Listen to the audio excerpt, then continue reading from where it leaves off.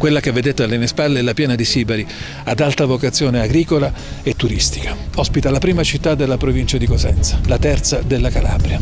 Codice purpureo, patrimonio UNESCO, il castello monumentale di Gordiano, gli scavi di Paludi, il sito archeologico di Sibari cercheremo di raccontarvi tutte le sfumature di una terra dalle forti potenzialità, ma spesso dimenticata. Talking a cura di Matteo Lauria, prossimamente sulla CTV, canale 19 del Digitale Terrestre.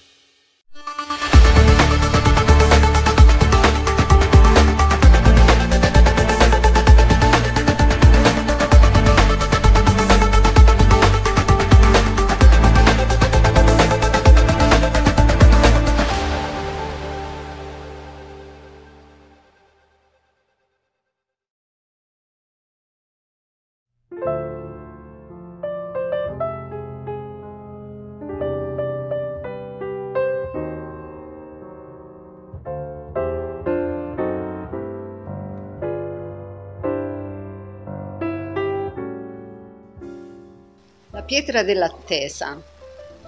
Lucertola al sole, la pietra dell'attesa si arroventa, cerca ombra, trova luce, scappa, si arena, si rimargina la ferita della verità, in un tempo senza lacrime. Un sorriso trova pace nell'immagine sbiadita dei ricordi. La giostra della vita ricomincia nel mormorio di voci che non hanno udito il suono della meraviglia. Festa della Donna 2021, qui dal Laboratorio delle Donne per l'iniziativa incommiabile portata avanti dal laboratorio e dall'Associazione Aglaia. Qui con noi la Presidente Anna Lauria che insieme alle donne di questo laboratorio hanno realizzato questa meravigliosa mostra che stasera scopriremo insieme. Fili intrecciati da Penelope a Maria Lai. Scopriremo cosa unisce il ricamo e cosa conduce a quelle che che sono le donne meravigliose che oggi omaggiamo e che festeggiamo sempre. Anna Lauria, cosa avete concretizzato in questa piccola ma eh, sicuramente simbolica mostra qui questa sera a Corigliano Rossano? Ma intanto ci sembrava eh, bello il connubio con il laboratorio delle donne curato da, eh, gestito dalla direttrice Maria Curatolo.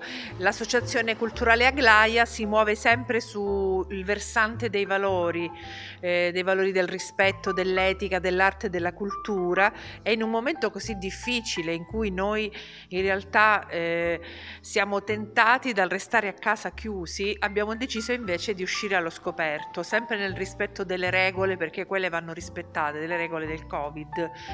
E volevamo dare un segnale alla città che ci sembra veramente un momento di grande stasi e eh, forse eh, siamo abituati ormai quasi assuefatti al, al silenzio, all'accettazione e in qualche modo anche alla negazione dell'azione.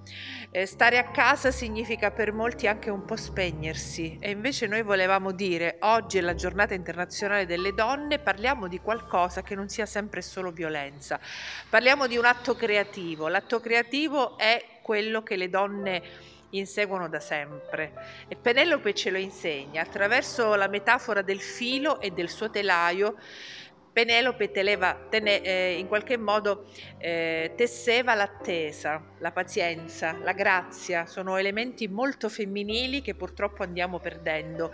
E se vuoi, per gli amici che ci seguono anche da casa, facciamo un giro proprio per capire che cosa abbiamo voluto fare. Intanto abbiamo creato un filo, pensate, che attraversa i secoli da Penelope a Maria Lai chi era Maria Lai lo vedremo dopo. Esatto, scopriremo dalle, questo percorso. Partiamo proprio dal telaio, dal telaio classico del ricamo, questo è stato fatto da una delle socie dell'Aglaia, Carolina Battistiol, e guarda caso, malgrado abbia tantissimi anni, è rimasto un po' sospeso.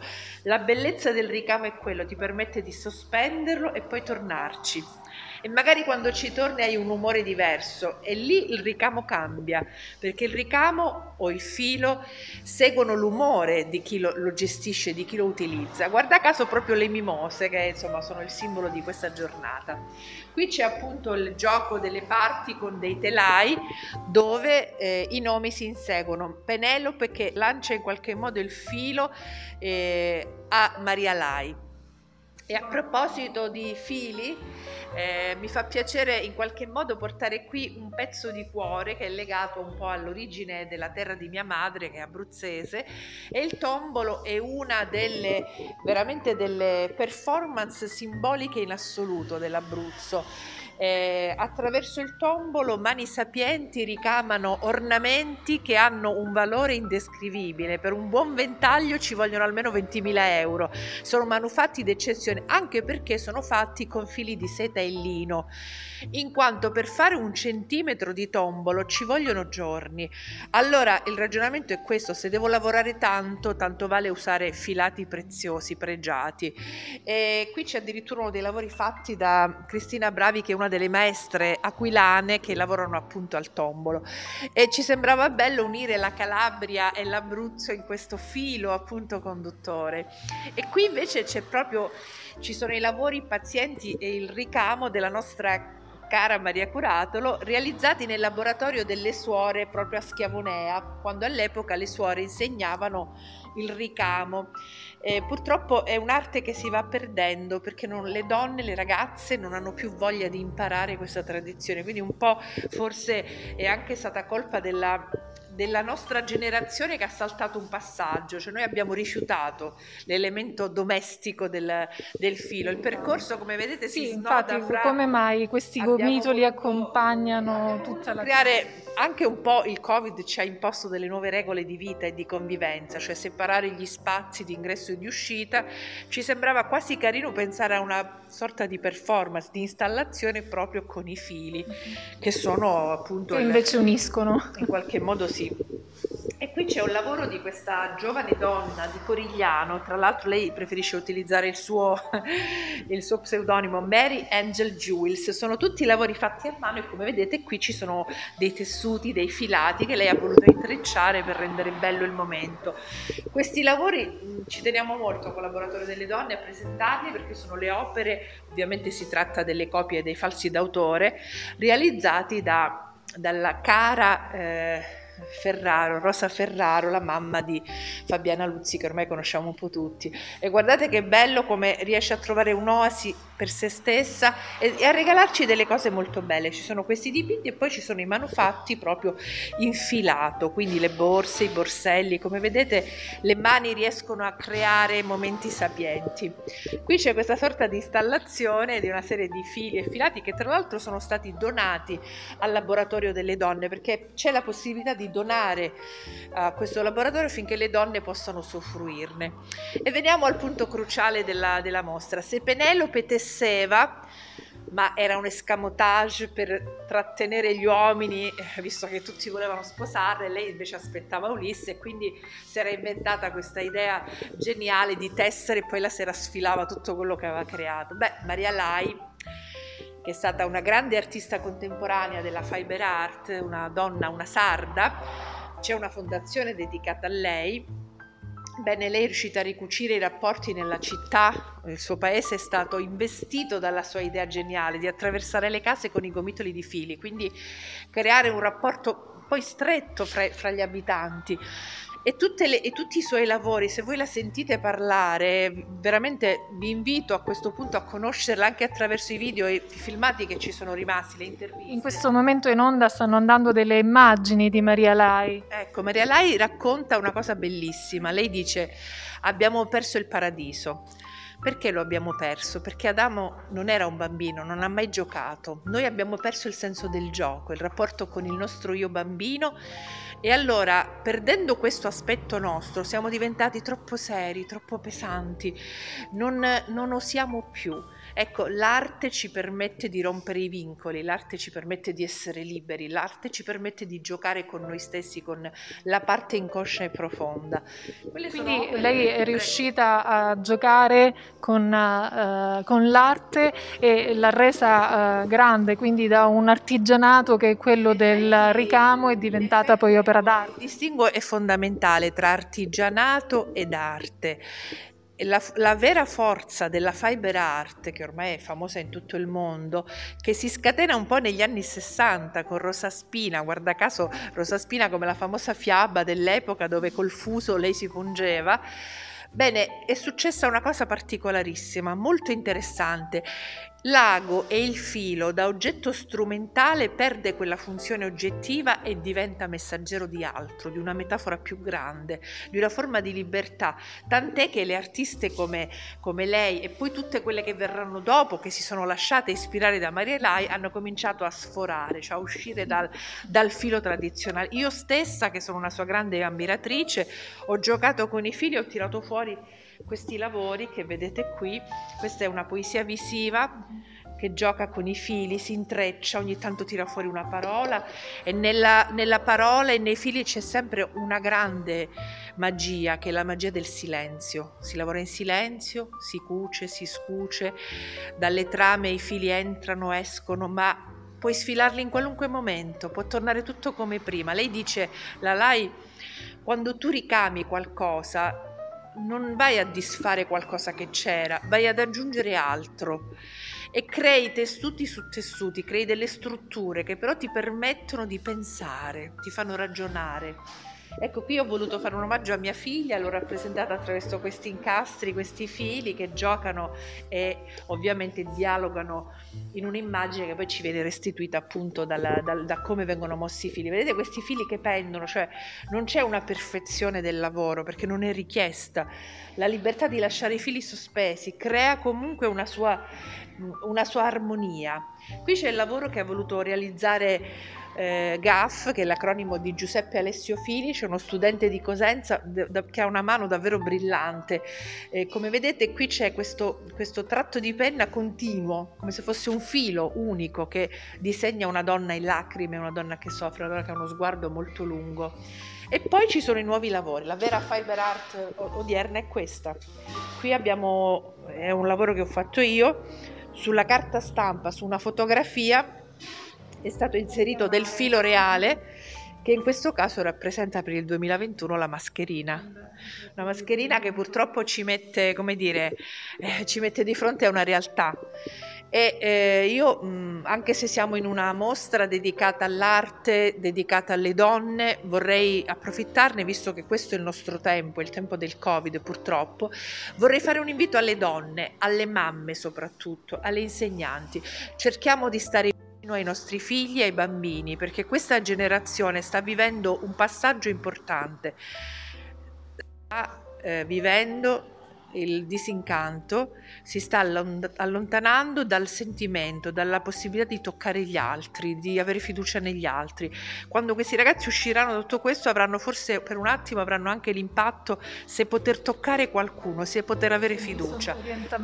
E quindi cerchiamo di stare di più con loro, di aiutarli trovando delle strade, le letture, la musica, condividendo, perché finché eh, abbiamo l'elemento del dialogo siamo ancora, forse possiamo ancora definirci umani e salvarci. Ecco. E l'arte in tutto questo può aiutarci, le forme artistiche possono ricreare eh, in maniera astratta e poi in maniera concreta quei legami che purtroppo ahimè siamo costretti a limitare per le distanze, la lontananza, l'isolamento.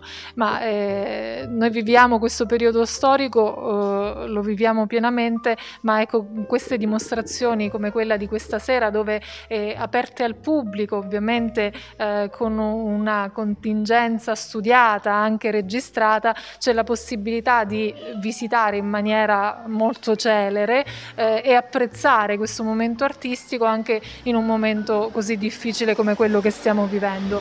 Beh, oggi era insomma doveroso poterlo fare, comeggiare tutte le donne, le donne di Corigliano Rossano, della Sibarisi Atlantide ma di tutto il mondo e farlo ecco, attraverso poi eh, quelle che sono le vostre attività quotidiane, il vostro impegno sociale e culturale che parte da qui e, e che si rivolge a, a tutte quante.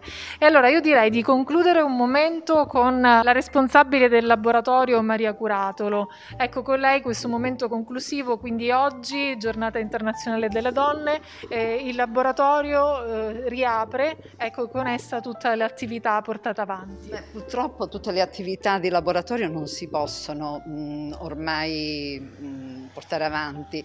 Diciamo che già noi eh, avevamo iniziato eh, a gennaio con il laboratorio di lettura, eh, libri da prendere, eh, da leggere e restituire e quindi eh, diciamo visto il periodo pandemico particolare portiamo avanti proprio questo laboratorio di lettura. Eh, che eh, diciamo eh, vuole stimolare l'abitudine alla lettura delle donne del centro storico. Noi ci rivolgiamo principalmente alle donne del centro storico, comunque siamo presenti per, su tutto il territorio. Allora, con eh, l'evento di oggi noi abbiamo voluto dare un segnale forte. Eh, ci siamo, eh, siamo presenti e, e vogliamo, vogliamo, continuare questo discorso di eh, essere insieme eh, alle donne. Bene, quindi invitiamo a partecipare e a entrare a far parte del laboratorio delle donne qui a Corigliano, nel centro storico di Corigliano.